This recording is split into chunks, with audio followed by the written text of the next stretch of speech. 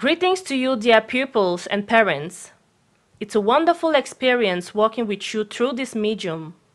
We call on you to be attentive and follow this lesson keenly so that you can understand and do your exercises at the end. Have a nice time learning. We will be right back. Good morning, children. My name is Mr. Nyambi Davis. I will be teaching I will be teaching you general knowledge for class 2. And today we are going to start with environmental science. Good. Before we went on holidays, we studied living things. Now, children, what are living things. Good. You said living things are things that have life in them. Good. Name two types of living things that you know. Good. Human being,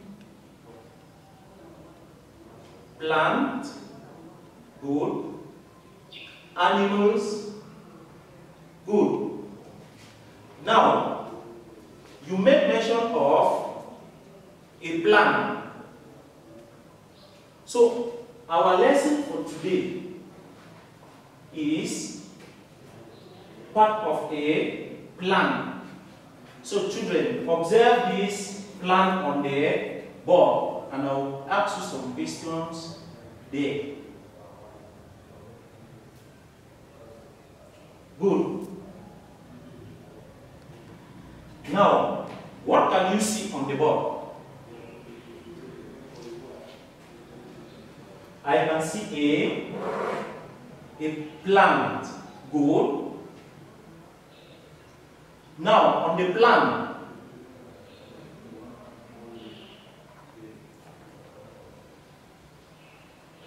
we can see some various parts. Good. Now, what is the name of the part that goes down into the soil? Root. Good. What is the name of the plant? What is the name of the part green in color? leaf. Good. What is the name of the part that beautifies the plant? Flower. Good.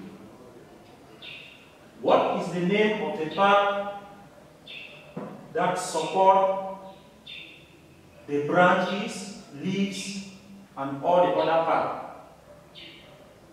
The stem. Good. Good. That was good of you. So we are going to look at part of a plant. And before we label the part of the plant on the board, we are going to start by looking at what is a plant. And we said plants are living things that need air, water, and sunlight to grow. Say plant. Plants are living things that need air, water, and sunlight to grow. Good. Let us come back to our plant proper. Good. On, on this plan on the board, the first or the last part of the plant, or the part of the plant that ends the plant is called is called terminal bud.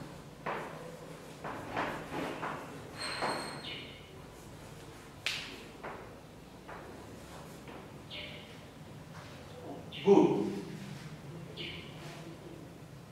Let us to the next part. What is the name of the part green in color? It is called leaf.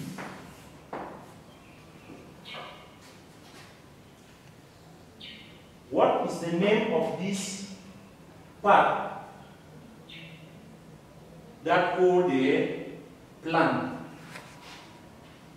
Or that hold the other branch, that hold the branches and the leaves. It's called the stem.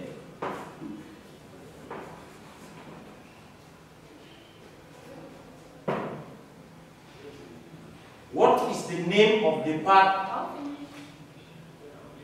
that goes down into the soil and hold the plant firm?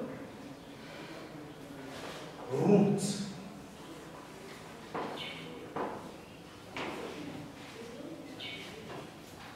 What is the name of the part that hold the, the leaves and the fruit? It's called the branch.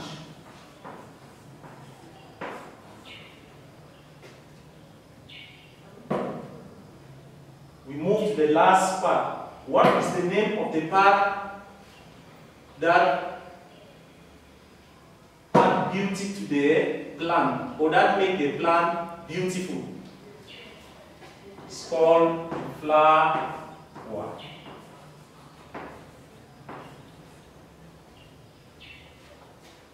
Good. From our plan on the board, I believe some of you will be able to name the various parts of a plant. So we've said plants are living things that need air, water, and sunlight to grow. And some parts of a plant are, you have the terminal bulb, you have a leaf, you have the stem, you have the root, you have the branch, and you also have the flower. Good. Okay, children, before we move or before we go to our exercise, let us look at some of the importance of this plan to us. Who can tell us one important of a plan? One, the first importance of a plant is that it provides us with fruit. And if we destroy this plant, are we going to have fruit to eat? No. Another important is the leaves provide us with shelter. If we cut these leaves, what is going to happen to the plant? The plant will die. Another important of this plant to us is that what? It helps to protect rain from dropping direct onto the soil. If we cut this plant, what will happen?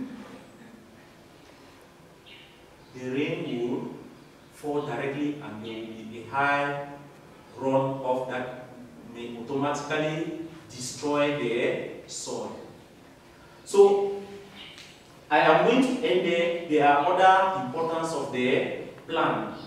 Now, let us move to our exercise. Exercise 1. Which part of the plant is green in color? You are going to underline the correct answer. Exercise 2. A dash is an example of a living thing. You have two answers there. You have stone, plant. A dash is an example of a living thing. Good. I hope that is all about the lesson. Hope you people enjoy it and thanks for being attentive. See you in our next lesson. Hello, dear pupils and parents. Thank you for following the lesson till the end, and we hope you enjoyed it. For your questions and exercises, write them down and send to us through the email info at teachconnect.org. The teacher will answer your questions, correct your exercises, and send them back to you. Thank you for working with us.